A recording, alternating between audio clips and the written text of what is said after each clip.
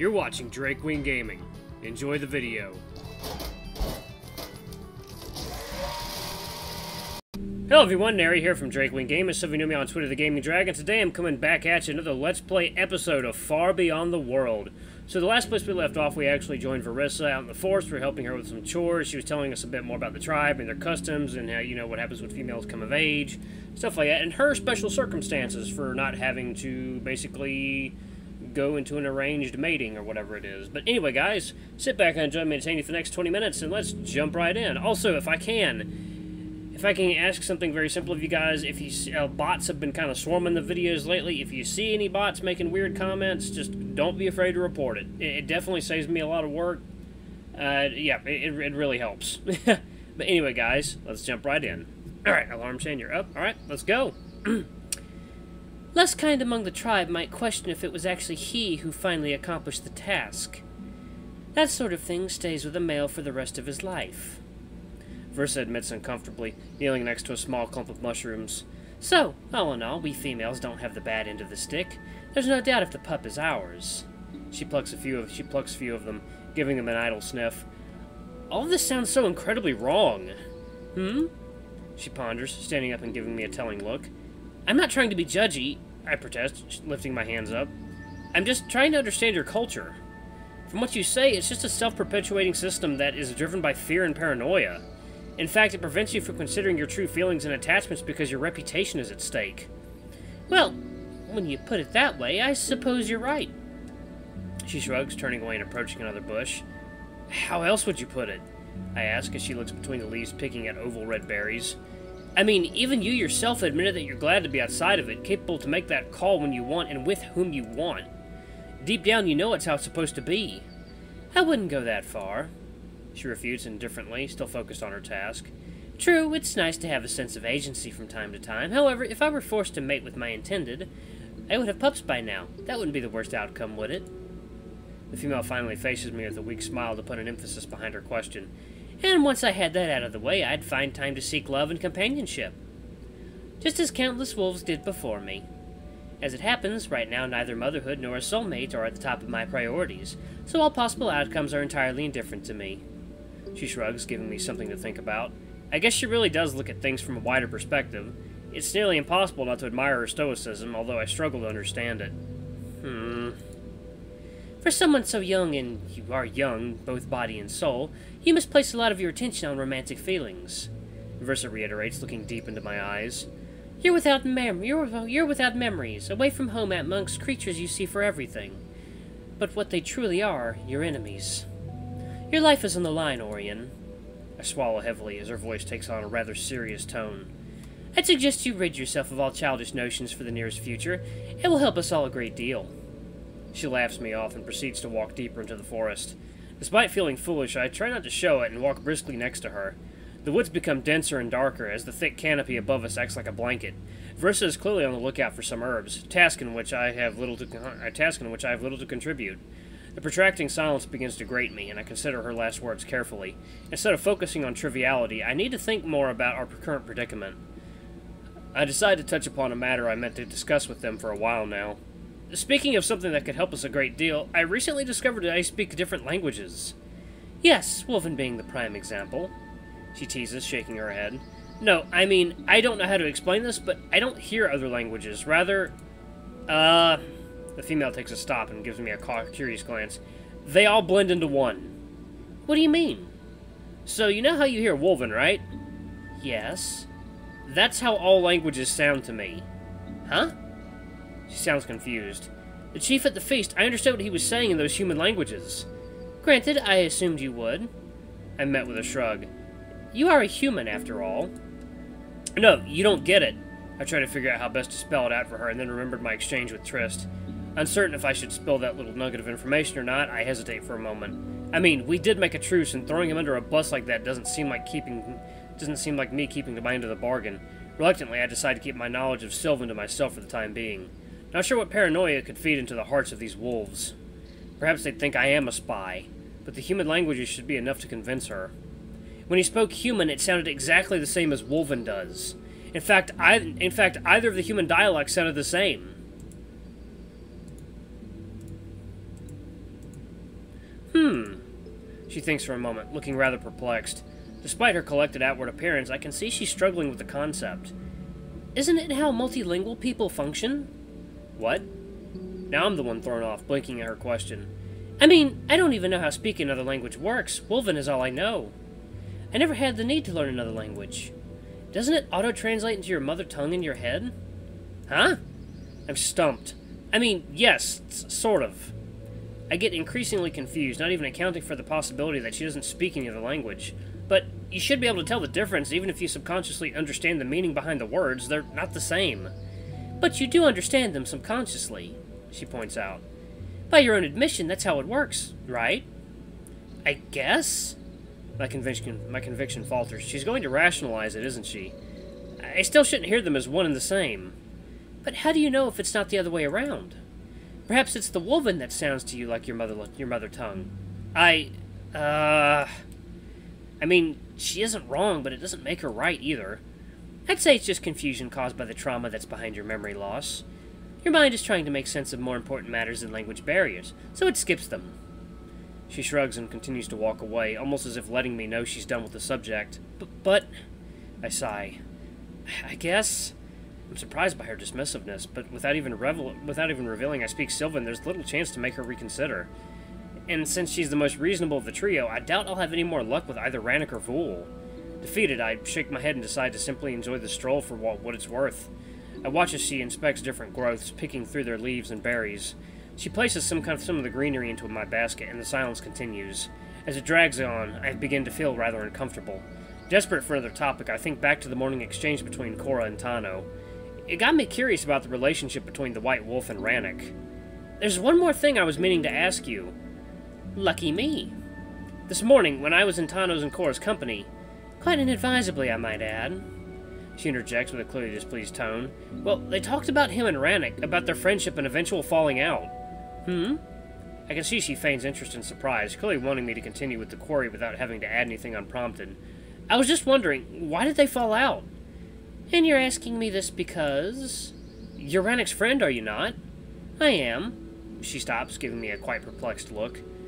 And that is why I hold my peace on matters that do not concern me. If you wish to know what happened, and should he want to divulge, that is his story to tell. Unless you mean to ask Tano. The female shrugs mockingly. Otherwise, it's just hearsay.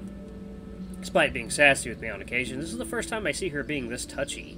Almost as if Ranok's and Tano's falling out was more than just that. My curiosity aside, I decide not to confront her further and just drop it. Although it's good to know that she keeps her friend's confidence.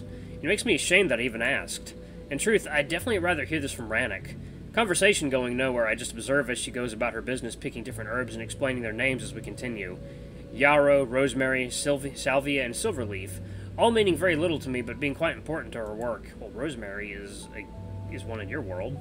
I try to pay as, I try to pay attention as much as I can as I deposit them into my basket, but my simple mind can handle only so little. They're just green leaves to me, aside from an occasional clump of moss or a shroom. Well, you're not a botanist, so. Witch elm, which is apparently imp important for healing ointments, like the one used on my stab. She wedges her rusty but trusty blade into the bark to gain another few chips, as well as harvest some leaves. Could you look around for the moss? The female asks idly, continuing to pick through the branches. Sure, I nod, walking off some distance and checking various trees. Not far off, I find a tall birch covered with the green growth.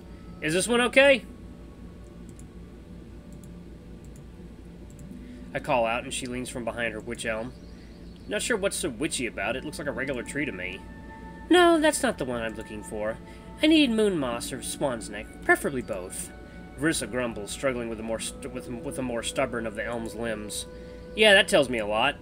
Moon moss is blue in tint and has small white polyps at the end of each stalk, swan's neck, she huffs. Has a fern-like leaves with stalks bent in the shape of a swan's neck. Thus the name. I chuckle, seeing her fall into her rump as the branch finally gives way. Despite initial confusion, I quickly manage to locate what I assume is moon moss, very much as she described, blue with white dots specking its surface. I think I've got it. Good job. I can hear her strained breath as she carries a sizable heap of leaves towards me. She dumps them into the basket and inspects my find. Real good job. Her voice takes on a more impressed tone. I think this one's just sprouting. That's good. That's excellent. She perks up her tongue in a determined fashion and begins cutting at the roots of the growth. Once she has her fill, the female looks around to find her bearing. Really, all that would be all that would be needed is some swan's neck, but it isn't that much of a deal. Let's take a roundabout way back into the village and count for a lucky streak, hmm? Sounds good to me. I smile and proceed to follow her lead. In all fairness, I'm very confused when it comes to our bearings, so having her as a guide is quite is quite a comfort. As we walk through the thickets, I cannot help but wonder about all the different plants and berries spurning about. I'm sure it's too cold for them, although the forest does make it feel as feel that it's much warmer than I think. Uh, I cannot help but notice have you actually tried? She snorts, mocking my constant vigilance, but I decide to ignore the jab. But the plants here, aren't they a bit anachronic? My, someone ate a whole dictionary for breakfast. The female continues her teases and I chuckle. I mean, they're slightly out of time, no? It's it is early spring. Tiernan is very specific like that, Verissa responds, pushing away some shrubs to create a safer trail for my bare feet. It springs to life relatively quickly after winter, and plants here are governed by their own rules. To us, it's just normal, but I do understand it's quite unusual elsewhere. She shrugs, stepping over a large fallen trunk. Some culture in the furthest part of the Everspring woods. Everspring? I ask, stopping beside her as she's looking beneath the log for some additional specimens. Yes, it's an enchanted forest ruled over by the, by the lynxkin to the very far north of Avalon. But it's just poetic comparison. Both woods are far apart and have nothing in common. Her voice wavers as she strains to reach something from underneath. Why is it called Everspring? It is said to be in the state of perpetual bloom. A female finally huffs, pulling out a handful of small mushrooms. Sounds magical. And boring. Autumns here are quite fascinating, are quite something, I can tell you. She muses while dusting off her dress and entering a more energetic step. As we pass through another thicket, I notice a large swath of purple flowers that I'm sure I recognize. I think about picking a few when she suddenly grabs my hand. What are you doing? I wanted to pick some lavender to take home. It's not that the cabin smells or anything, but it would be nice, but it would be a nice change of ambience. That's not lavender. The female frowns, releasing my hand. That's wolfsbane, deadly poisonous. What? I jump away, almost as if I were to be bitten by a viper. Don't worry, simply touching it won't cause you much harm, but you better not mess around with it. Damn, it looks so pretty. I could have sworn it looks like lavender. Easy mistake to make, perhaps. She concedes but a serious one nonetheless. A bundle of lavender will ease you to sleep. A bundle of wolfsbane will send you to the great beyond. Yeah, no thanks. I mumble awkwardly, rubbing my arm. I should definitely stay away from picking herbs anytime soon. That's wild lavender. She points in a different direction to a bunch of green stalks in the distance. But those are barren. Verissa quickly picks on my confusion. It's not the season for it. Lavender is a late summer bloom. Huh.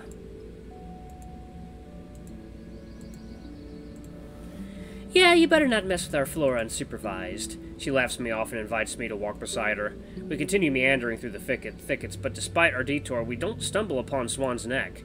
I make sure extra sure to inspect every moss patch we find, regardless of her protests and resignation. I want to find I want to be useful for something. Eventually we arrive at the main square and she picks the wicker basket from my hand. I better head back and get those sorted. I'll check on you in the evening, before the feast if that's all right. Sure. I won't be able to stay long, though, so don't get your expectations high. I won't. I chuckle and brush her off. Maybe my heart does sink a little that I'll have to spend the rest of the day alone, but I won't let her know it. She has a lot on her mind, and if any of this harvest is meant to create some sort of panacea from other... Panacea? Panacea? Is, it's panacea, isn't it? Panacea for the wounded. If there'll be a... If there will be any wounded, then I'd rather have it leave it. Then I'd rather have her have her at it as soon as possible. Head straight for the cottage and don't stop for anything. We really don't need to draw any more attention, and you have a tendency to do just that. I nod and simply rush off, my silk dress swishing on the wind. There's no reason for me to run, but I really want to get out of sight, especially since more and more gazes land on me. As I pass different wolves, they express their unhappiness with me being out and about. Where's the fire? calls one I nearly bumped into. Ugh, can't believe he left it unattended. Now the monkey's running wild. Another jab from a complete stranger, but I don't mind. Out of six alphas in this tribe, I have confidence of three in curi- I have the confidence of three and the curiosity of the fourth. I'd say I'm doing pretty fine, thank you very much. It doesn't take long to reach the house, and I jump over the steps. It's good to be home. Once I close the doors behind me, I take a deep breath and try to relax. To walk in the woods was both insightful and invigorating, as pretty much all exchanges I had with Verissa to date. Quite parched due to our stroll, I take a mug and, and dunk it into the barrel. I really need a drink. Flopping uncomfortably, flopping comfortably into the chair, I simply sip and unwind, thinking about the crazy two days I had so far. Despite missing Ranok a whole lot, plenty enough is going on to keep my mind occupied and buzzing with activity. From Vol's infatuation and childish outbursts to Tano's curiouser and curiouser past with Ranok. Cora's apparent sadness at their falling out and Verissa's evasiveness on the matter only add to the mystery. There's so much to think about, and my imagination runs wild. Could Tano be Ranok's first crush? Oh. Huh. Didn't think about that. It would explain this little back and forth at the feast. But then again, how would Tano take away Ranok's happiness? If they were an item, was it a heart-wrenching breakup or a story of betrayal? I snort at my wild theories. It almost feels as if I've suddenly slipped from a fairy tale territory into Spanish soap operas. Despite how exciting the speculation is, I do find it quite disturbing that Ranok and Tano's feud seems to run deeper than just the superficial. Friends or lovers, I'm not sure how I feel about deep bonds like that severed so completely, especially if it was over something stupid. And knowing Ranok, it definitely was something stupid. Three years means they were still just teens. Not that I deny my wolf any credit, but he is quite patient, but he also tends to dance around the truth a whole lot. With love or friendship, that's never a good practice, especially if one is stubborn to admit wrongdoing in the first place. Then again, ooh, excuse me, Tano is a very underhanded and a sneaky guy. Maybe he fucked Ranok over one too many times. My wolf is quite principled, being constantly let down definitely would not sit well with him. Unless it was really more than that. I wonder if they... No. No, no, no. I've been getting exceedingly distracted by the horny stuff while here. It's none of my business if they did stuff or not. It, I just wouldn't want to be caught in a crossfire. Tano seems like a wolf you really do not want to piss off unintentionally. I try to keep myself occupied by tidying up the place, washing up the used-up dishes, and making sure the cottage is presentable for when Ranok finally returns. Because he will return.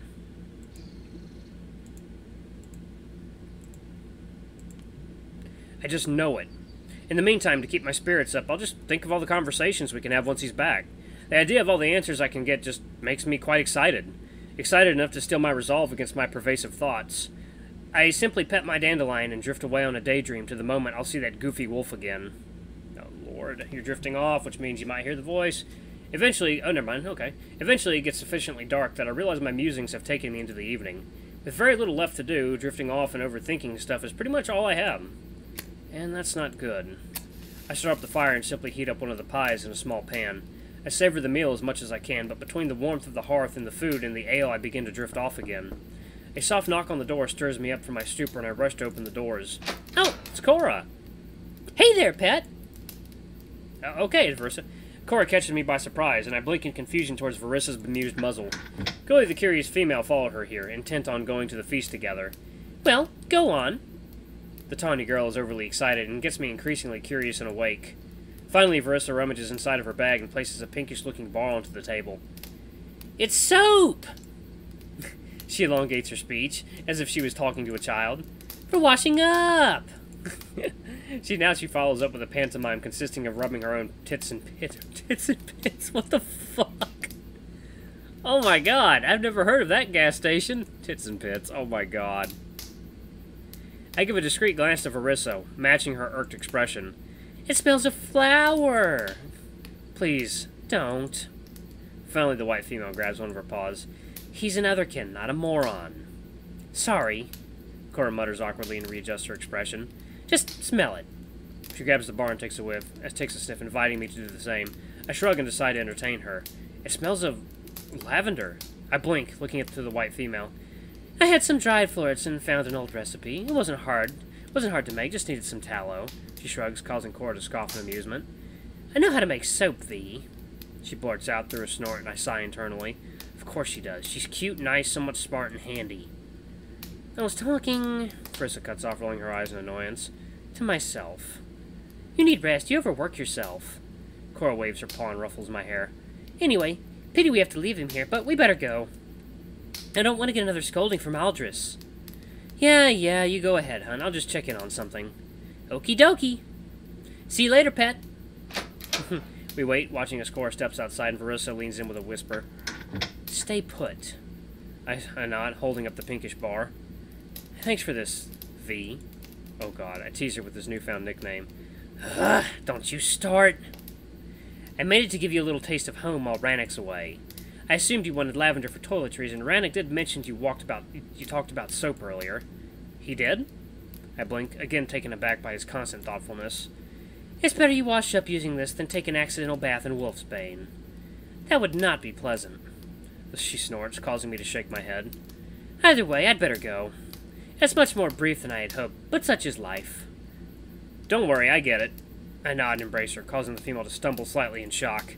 For a moment, I think I have crossed the line, but she reassures me by returning the hug. Stay put, she reiterates before taking her leave. Once she's out, I just bounce the bar in my hand a little and then place it on the cupboard. I am thinking of using it now for a moment, but considering how how tired I've gotten, washing up would just make would just wake me up, and I'm not about to I'm not about to spend a lonely night in this empty house awake. Instead, I drink a deep cup of water, pet my dandelion, and put the fires out. As I pass the rack, I pick up one of Ranok's cloaks and take it with me to the bedroom. There, I pulled off the dress, fold it neatly onto the chest, and slip into the linen. Alright, I'm gonna pause it right there. Hey, we got some soap! And we learned not to touch or eat wolfsbane. I already knew that, because wolfsbane is fucking deadly. But anyway, guys, thank you so much for watching. Don't forget to like, comment, subscribe, ring that notification bell, leave a super thanks if you can. It always helps. Until the next video, I love you all. I'll see you next time. Bye-bye!